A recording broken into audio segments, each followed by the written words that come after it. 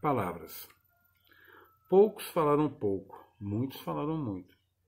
Demais falaram demais, houve muito comentário.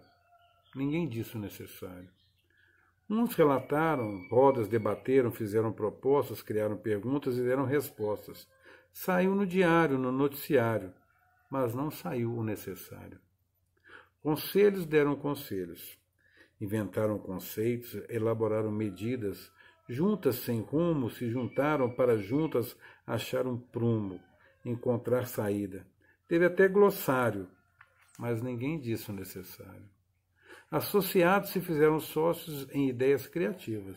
Diretores insinuaram direção, fizeram tentativas, mandaram até emissário, que não disse o necessário. O relator relatou, o de perto garantiu, de longe explicou, o de lado declarou e apresentou sumário, mas não afirmou o necessário. O homem salientou, elaborou breviário, sua mulher sussurrou e voltou para o Calvário. O trabalhador protestou, reclamou do salário, o louco gritou, chorou solidário. Ninguém disse o que realmente era necessário. O usuário, o mutuário, o bancário, o celibatário, faltar, falsário, o mandatário, o milionário, o operário. Ninguém disse o necessário.